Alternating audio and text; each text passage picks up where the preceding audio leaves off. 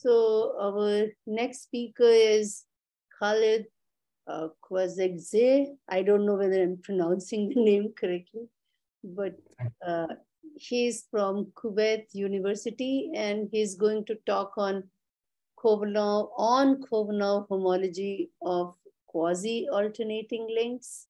So yeah, Khaled. Okay, thank you very much. So, I, I, would like uh, to take this opportunity first to thank the organizers for such a great conference and for inviting me to give a talk in this uh, uh, event. So uh, today my talk uh, will be on Khovanov homology of quasi-alternating links.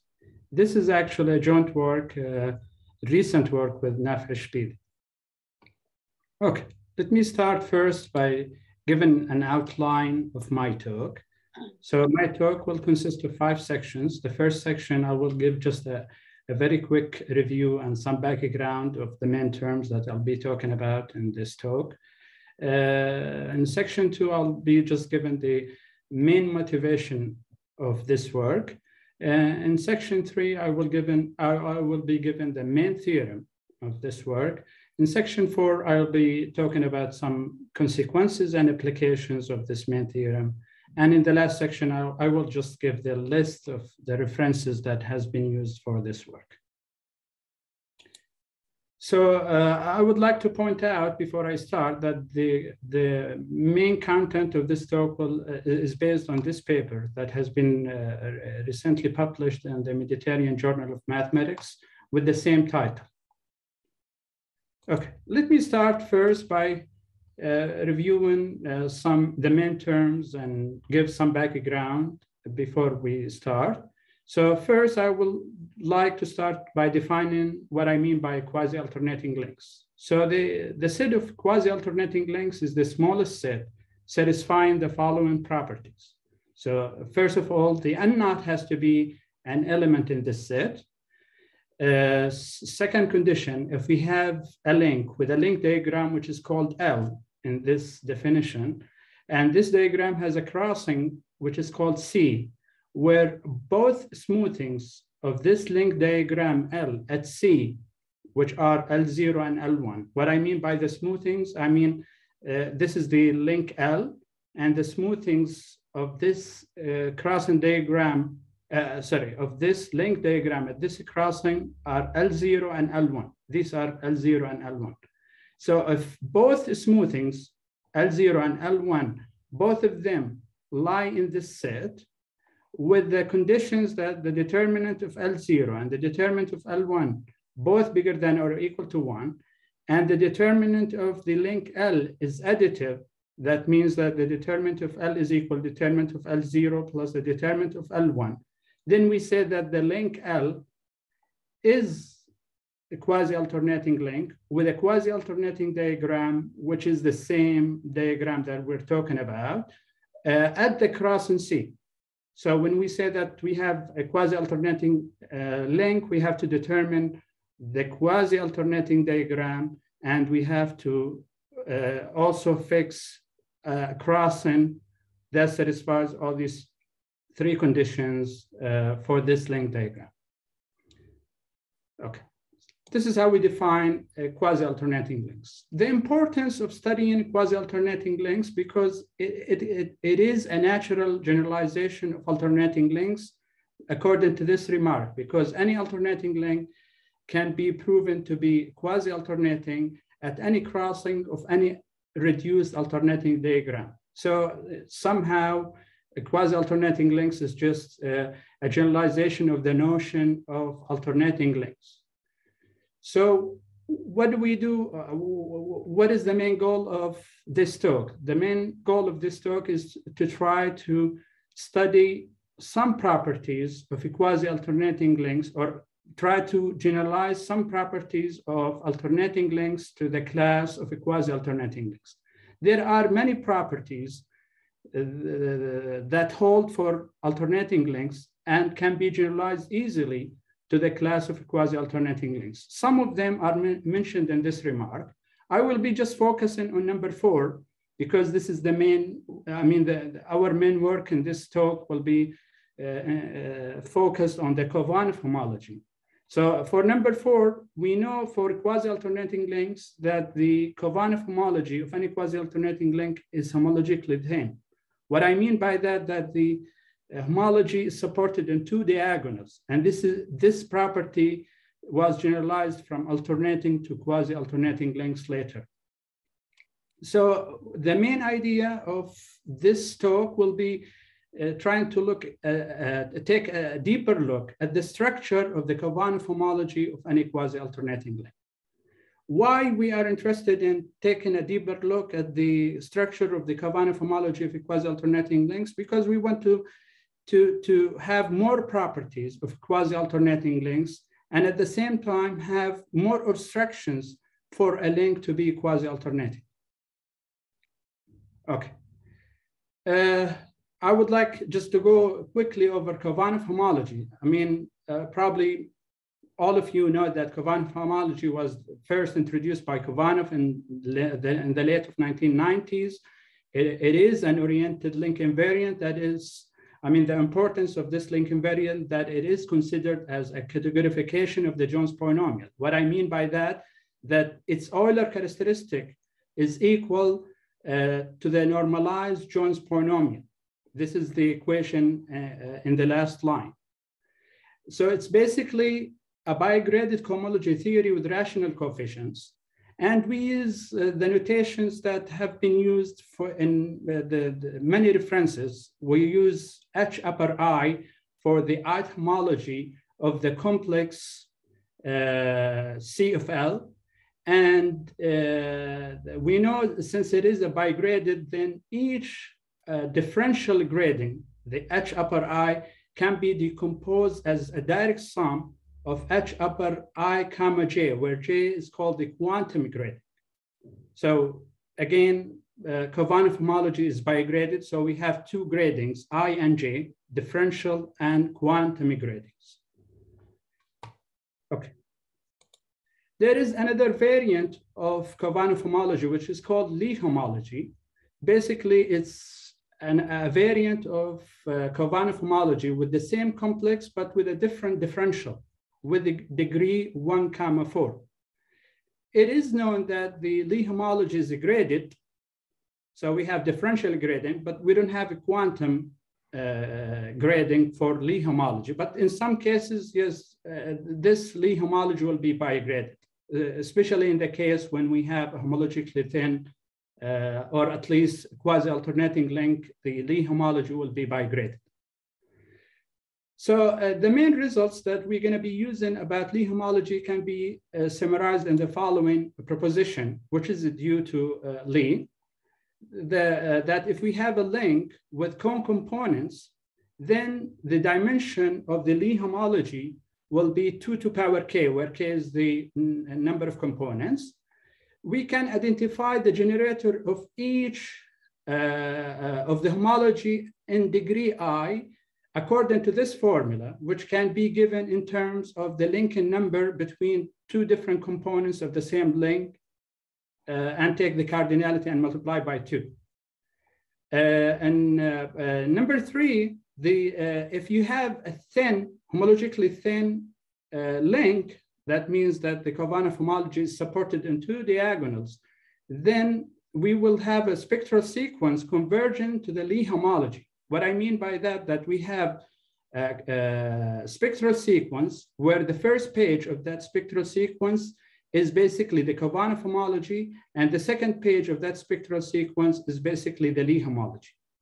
So somehow if you have a thin, uh, H thin length, then it's very easy to, to come up with the, the homology from the Khovanov homology because it's the second page of the spectral sequence whose first page is the Khovanov homology. Okay. Uh, a simple way, I mean, uh, we, we, are used, I mean, for people who are dealing with Khovanov homology, we use, we usually use a table that looks like this to describe the Khovanov homology. We just use integers at the i comma j position in the plane where i and j are integers. So for example, if you look at this table, this table represents the Khovanov homology of the trefoil, where we have uh, Q uh, with, uh, uh, uh, with differential grading equal minus three and quantum grading equal to minus one. So this one means that the, the, the, the homology uh, at this position is a Q. So we're using numbers just for the dimension over a Q for the Khovanov homology at that position. The red entries here represent the Lee homology of this knot. The whole picture represents the uh, homology for this knot. Okay. Uh, to, to introduce the motivation of this work, I need, I, I need some definitions before I mm, uh, give you the motivation. So uh, the first definition, if we have a link, then we want to define what we mean by a gap in the differential grading or the quantum grading. So we said that the differential grading of the Khovanov homology has a gap of length L, uh, S. If there are S consecutive columns of the Khovanov homology, of the link with zero entries. The same thing for the quantum grading, but rather than using columns, we use using rows. So if we go back to the example that we had, here we have one column with empty entries. That means we have, uh, in, in the Khovanov homology of the trefoil, we have a gap of length one because we have only one column with no entries or zero entries in that column. And at the same time, we have one row with zero entries. That means we have a gap in the quantum grading of length one. That's what we mean by gap. In the same way, we can define gap for polynomials. So when do we say that we have a gap in a polynomial? We have a gap of, a, of length s in some polynomial if there are two monomials of degree i and degree i plus s plus one of non-zero coefficients in that polynomial and all the monomials with degree between i plus 1 and i plus s have zero coefficients in that polynomial. So if you have monomials of zero coefficients, then that will give us a gap in that polynomial and the, the number of monomials of zero coefficients will give us the gap of length uh, equal to s. In the same way, we can define a gap between two different polynomials. We say that there is a gap between two different polynomials if their supports are disjoint and the minimal, a minimal degree of one of the two polynomials is bigger than the maximal degree of the second polynomial, and there are S terms, S monomials in between that have zero coefficients. So it's like we have two disjoint supports and the, the monomials in between have zero coefficients in this polynomial and in this polynomial at the same time. Okay. So what is the motivation of this work? The motivation of this work are, are uh, these two theorems. The first theorem, which is due to Thistlethwaite in 1988, which says that if you have a Jones polynomial uh, of any alternating length, then this polynomial, uh, the, the Jones polynomial of, sorry, if the Jones polynomial of any uh, prime alternating length has a gap, then this length has to be two comma p torus length. In that case, we will have a gap of length one. So simply, if you, the Jones polynomial of any alternating link has no gap unless it is a two comma p torus link. and in that case, we have only one gap of length one. The second theorem, which is due to the work of many people, uh, which states, which can be derived from their work, that the breadth of the Jones polynomial of any alternating link is a lower bound of its determinant. So these two theorems basically are about alternating lengths. So the question, can we generalize these theorems to uh, quasi-alternating lengths? Well, the, the answer will be given in this conjecture. So we think that, that if you can establish this conjecture, then yes, that will imply that the, the previous question has positive answer. So what is this conjecture? It says if the differential grading of the Khovanov homology of any prime uh, quasi-alternating link has a gap, then this link has to be 2 comma n torus length. So uh, we were, I mean, if you go back to the two theorems, we were talking about Jones polynomial. Now we're shifting to the, the, the, the uh, Khovanov homology. We can, I mean, according to this remark, we can prove that the existence of a gap in the differential grading of the Khovanov homology is equivalent to the existence of a gap in the Jones polynomial of the same length. So whether the, we're talking about this conjecture in terms of the Khovanov homology or the differential gradient of the Khovanov homology or the gap in the Jones polynomial, they are equivalent. So uh, why were we using uh, Khovanov homology in the Jones polynomial? Because we were able to prove the, the our main result uh, in terms of the Khovanov homology, not in terms of uh, the, uh, the Jones polynomial we needed more structure. The Khovanov homology has more structure than, or more information than the Jones polynomial itself. Okay, so the main theorem, what is the main theorem of this talk or this work? We, we were able to prove that the length of any gap, so if you have a gap in the differential grading of the Khovanov homology of any quasi-alternating link, then that gap will have length one. So we're not saying how many gaps do we have. We're just saying if you have gaps in the differential grading of the Khovanov homology of any quasi-alternating length, then that gap would have length one. You can have more than one gap. I mean, we're not saying about anything about primeness. So th this link could be connected sum of two uh, of two lengths or two knots. So we're not saying anything about primeness. Actually, if you take like uh, the connected sum of two half lengths, then you would have two gaps in the Khovanov homology. But we're, what we were saying that the length of each gap would be uh, would have to have length one.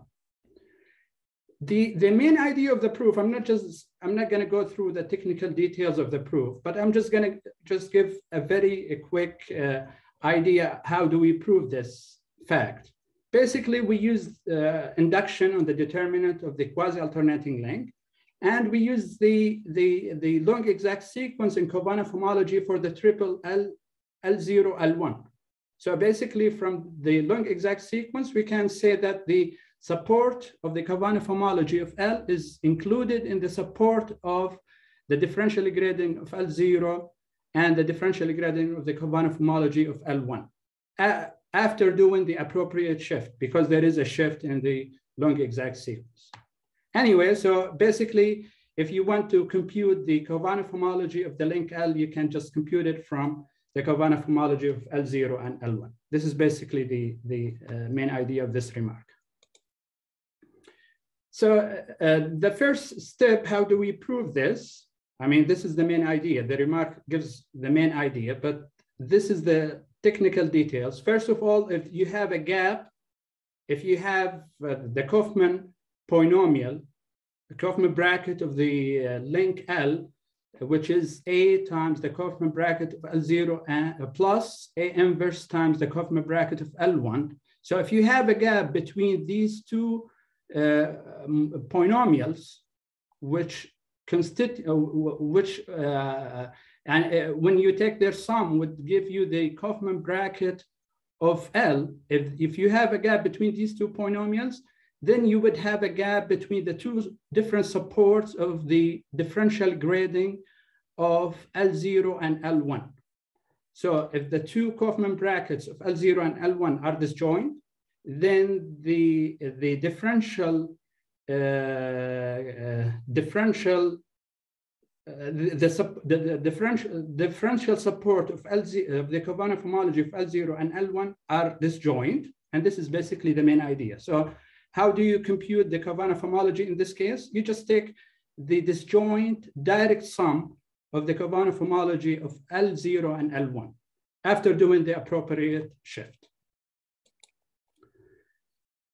Uh, another tool that we needed for the proof I mean, we, we have, uh, okay, sorry, let me go back to this one. So the, this is the main tool. Uh, from this tool, we can uh, deduce that if, if the link L or the link diagram L at the crossing C uh, consists of two different components, then uh, if, sorry, okay. Uh, if the uh, uh, if the link L at the crossing C, if the crossing C in the link L consists of the of two arcs of the same component, then according to this corollary, sorry, I'm confused now where I should start. Okay, uh, let me go to the proposition and I'll come back to this corollary. So if you have a link L and the crossing C, where C consists of two, uh, of two arcs of two different components, then we can prove that the gap of these two polynomials would have at most length seven.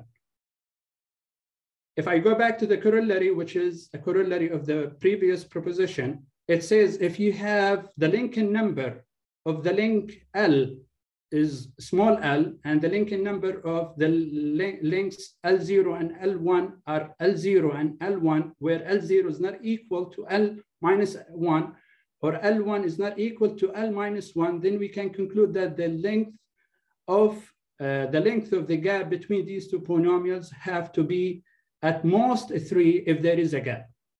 So if you combine this with this, if you combine this corollary with this proposition, whether this crossing, sorry, I'm seeing red screen. I don't know what happened.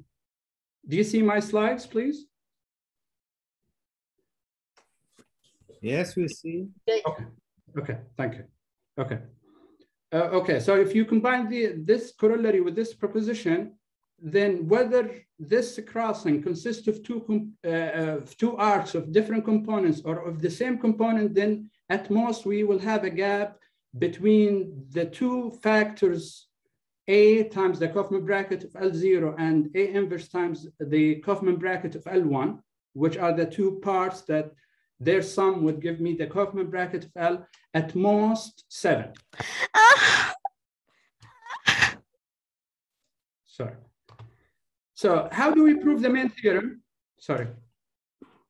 Okay, how do we prove the main theorem? Basically, we use induction on the determinant of the quasi-alternating link L. So if it is one, then we have the unknot. The unknot is clearly satisfies what we are claiming. Now, if, if we just apply induction, L0 and L1 have no gap of length bigger than one.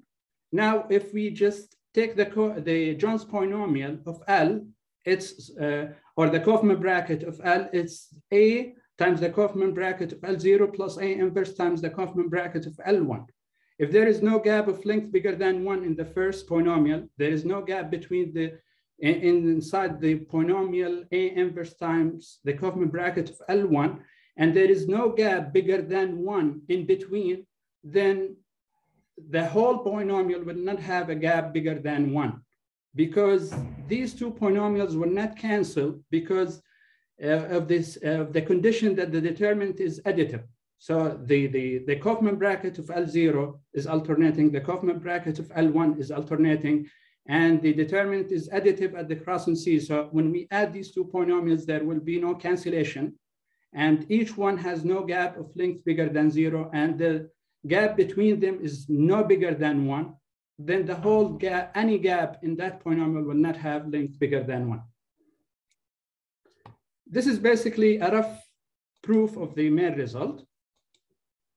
Uh, uh, let me just go for two minutes, just give some applications, very quick applications on this main theorem. So one corollary, we can conclude that the FL is a quasi-alternating length, then the, the length of any gap in the Jones polynomial is one. So we're not gonna have a gap bigger than one in the Jones polynomial of any quasi-alternating length.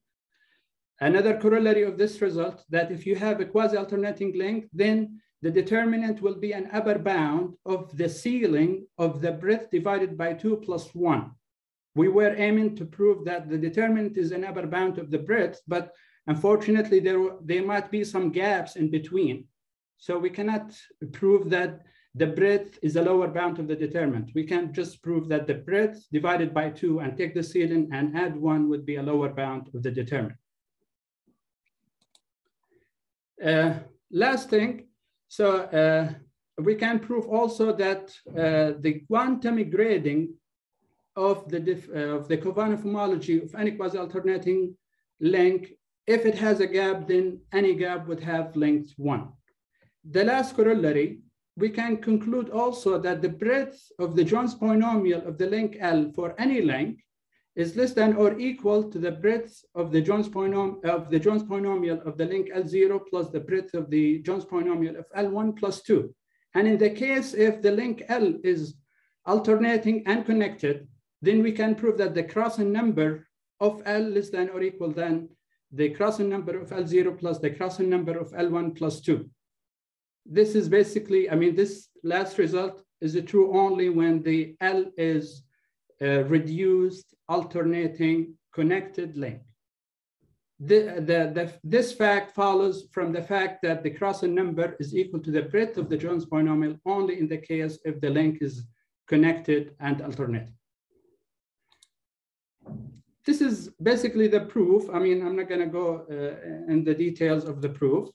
And this is the list of the references that we have used in, uh, for this work. And I would like to thank you for your patience and your listen. Thank you. Thank you so much. It was a very nice presented talk. So are there questions?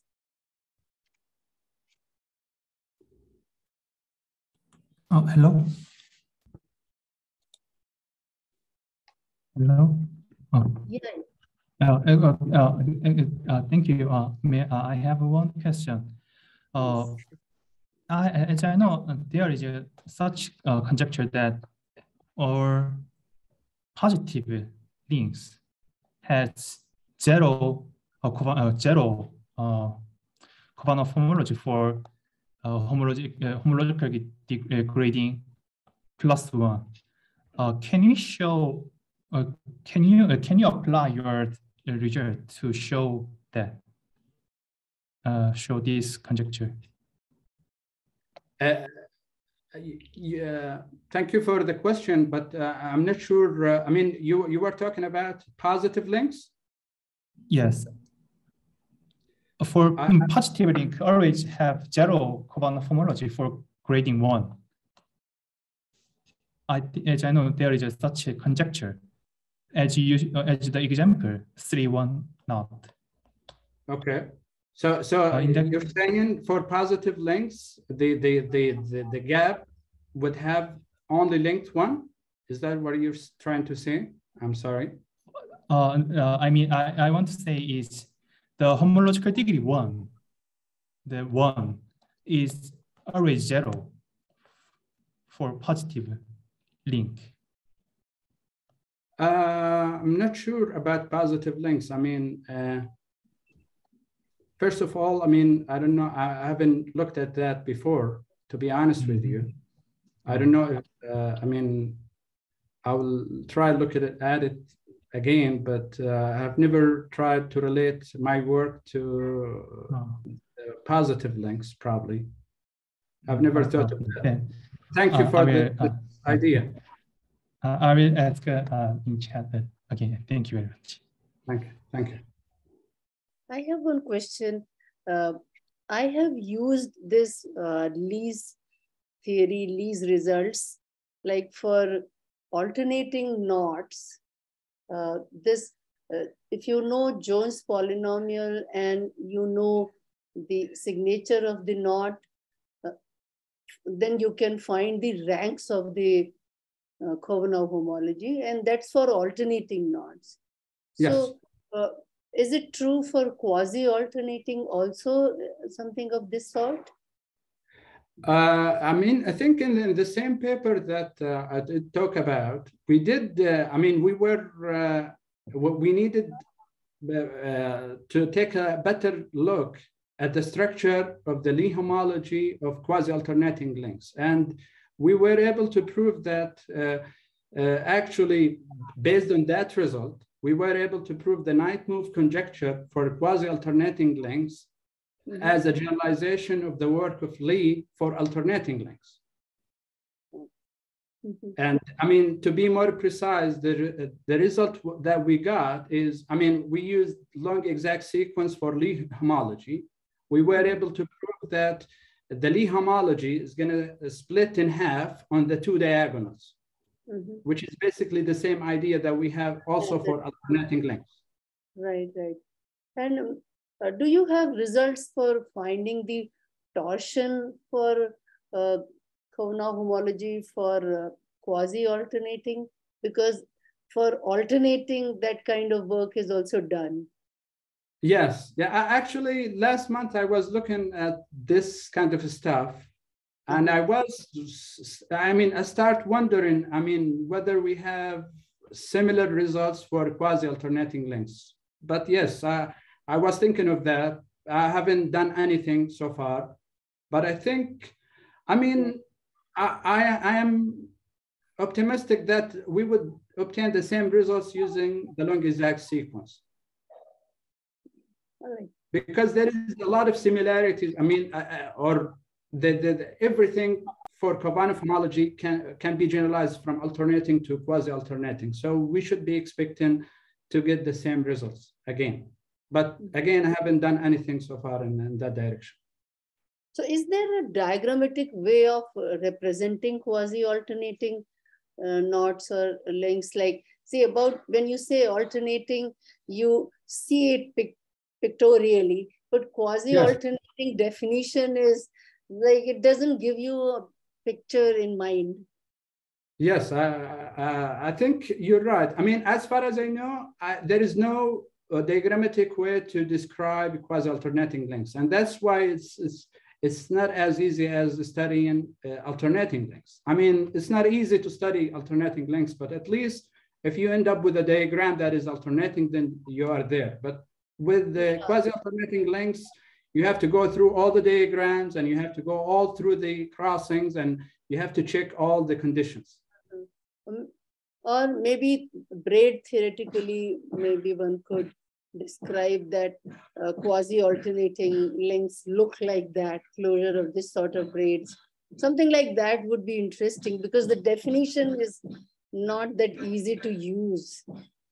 Yes, I agree with you. I, I Yeah. think for uh, uh, braid of index three, uh, there is a classification for, uh, I forgot uh, this classification is due to whom, but I think there is a classification for all quasi-alternating uh, uh, quasi-alternating links of braid index three.